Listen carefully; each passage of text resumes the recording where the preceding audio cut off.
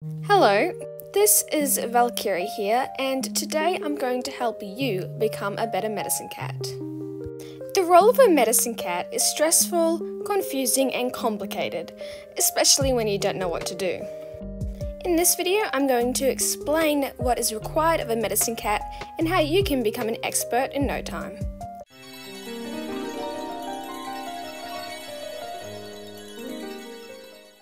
This video, I'm going to use my morph Petal Cry. Step 1. Understanding the role.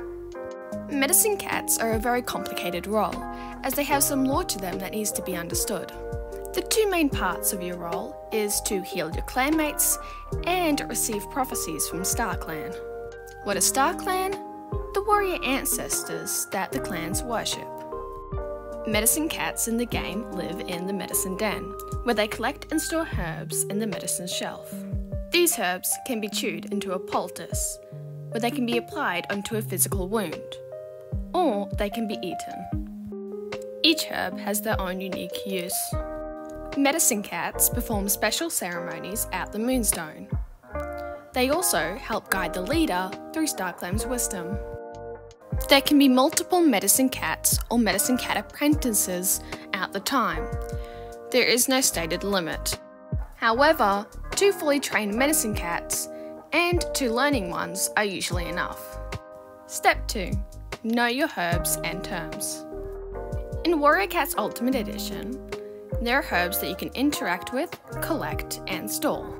These herbs have their own unique properties that you can use in game.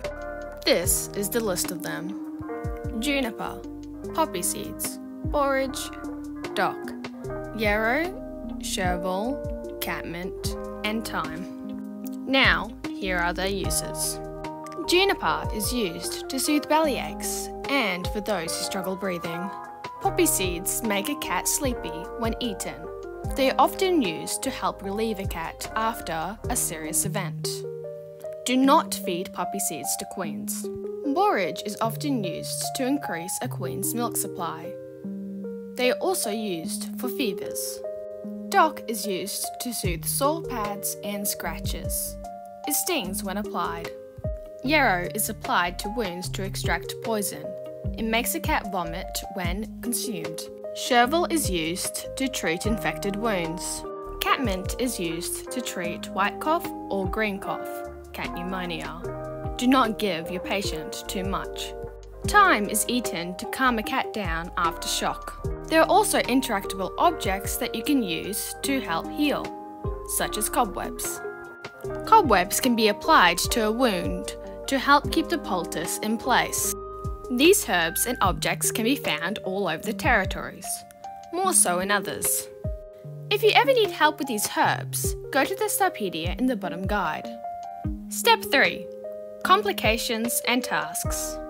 There is no doubt that the role of the medicine cat is super stressful. You have to heal cats straight away, gather a pile of herbs, and remember all their uses.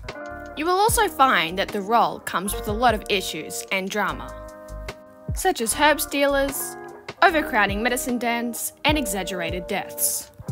To solve problems like this, Try to stay as calm and polite as possible. However, do not hesitate to tell people to give you some breathing room. Please respect the medicine cat when they tell you to leave. It's nothing personal, they just need some space. Step 4 Ceremonies and Law. Leaders are not the only role that performs ceremonies, medicine cats do too. They perform medicine cat naming ceremonies at the Moonstone and also help the leader when it comes to their lives. Medicine cats also participate in a very special leader choosing ceremony if both leader and deputy are gone from the roleplay. Medicine cats are required to travel to the Moonstone every half moon to meet up with StarClan and the other medicine cats. Here, they gain prophecies from StarClan and also share news. This can be an especially fun thing to roleplay. Step 5 Personal tips from yours truly. Here are my personal roleplay tips when it comes to playing as a medicine cat. Try to stay calm in stressful situations. If you can't deal with this, then try not to be a medicine cat. It's great to have a medicine apprentice with you. They can help you collect herbs, and it's fun to share information with them. If you are confused, check the Starpedia. It can help you with information on the herbs and the territories. If you've run out of herbs and are too lazy to collect them, don't roleplay with them. You don't have to use them. I like to keep a list of herbs that are not in the game. This can help me avoid having to use the ones in game so often when I can just roleplay these other herbs. You could write down these herbs on a notepad or just remember them. If a cat dies in the roleplay, don't stress about it. It's not your fault, it was just planned. Remember that you are not bound by your duties. You can have a break once in a while, retire or hang out with your friends. And that's it. I hope this video helped you. And if you have any issues with my video or have anything more to add, please comment below. I hope you have a great day or night.